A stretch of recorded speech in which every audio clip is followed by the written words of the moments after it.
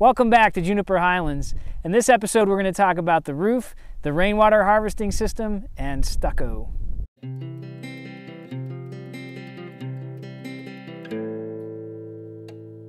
In the last episode, I talked about how I redesigned the roof from more of a traditional peaked slope roof to uh, Pueblo style, where the roof is actually tucked inside the walls.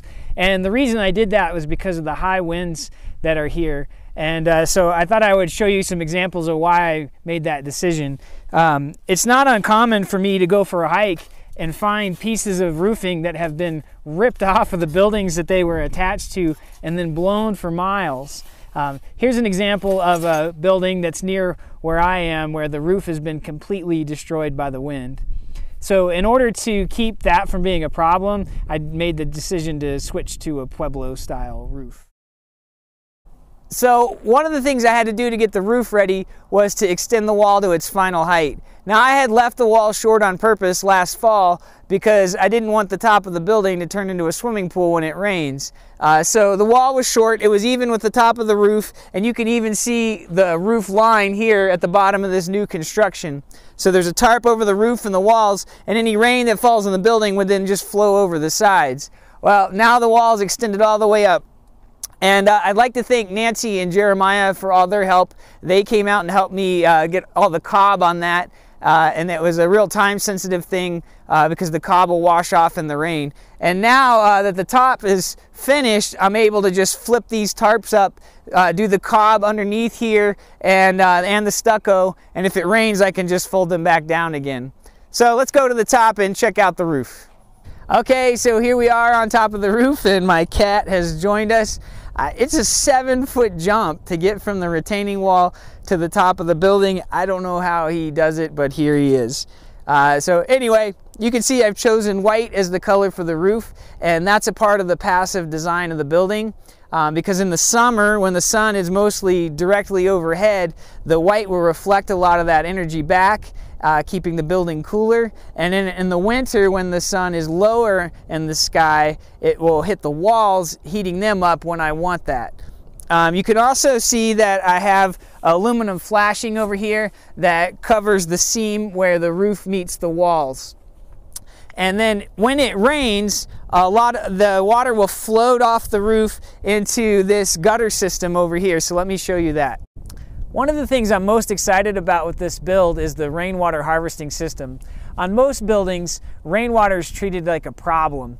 So the rain falls on the roof, it goes to a, a gutter and a downspout, and it's ejected away from the building and it's gone forever. Uh, well, with rainwater harvesting, you actually collect and store the rainwater and you can use it for all sorts of things. So this is up here on the roof is where that system begins. So the rain falls on the roof and then it flows off into this gutter.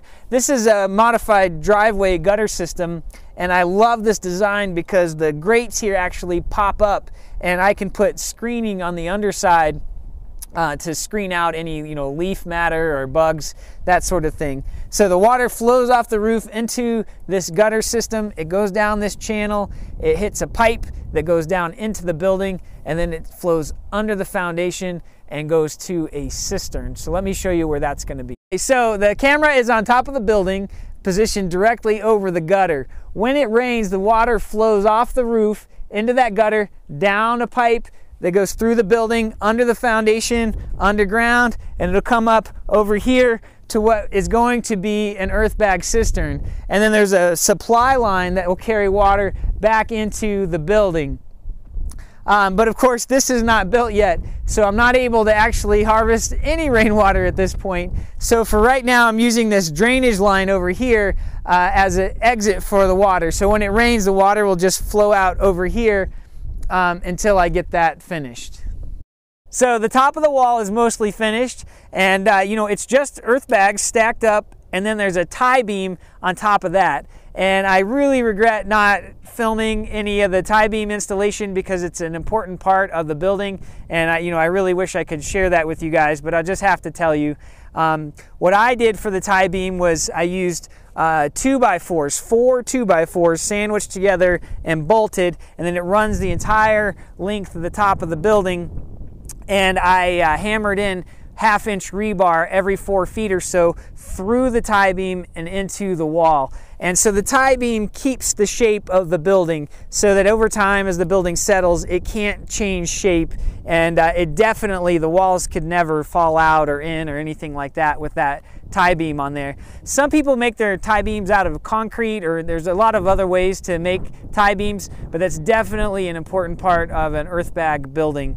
Okay, so then on top of the tie beam, we just uh, filled in with lots and lots of cob so that uh, we got this nice rounded shape. Uh, and then on top of the cob is a layer of stucco base coat. Well, uh, as you can tell, I'm running out of daylight here, so I'm gonna wrap this video up. Uh, the last thing I wanted to talk to you about was the cob and stucco. Now that the top of the building is mostly just finished, uh, I'm working on the sides. So uh, I'll, all I have to do is flip up the tarp. You know, I'm adding cob, which is probably about two thirds of the way done. Uh, and then once the cob is on and, and smooth and dry, then I'm coming back with a layer of this stucco base coat. Now later, as you know, as weather permits, I'm going to come back with a colored finish coat. So uh, ultimately, the building will be kind of a nice beige that will blend in with the landscape. Well, thanks for watching. If you have any questions or comments, please leave them in the space below. Catch you next time.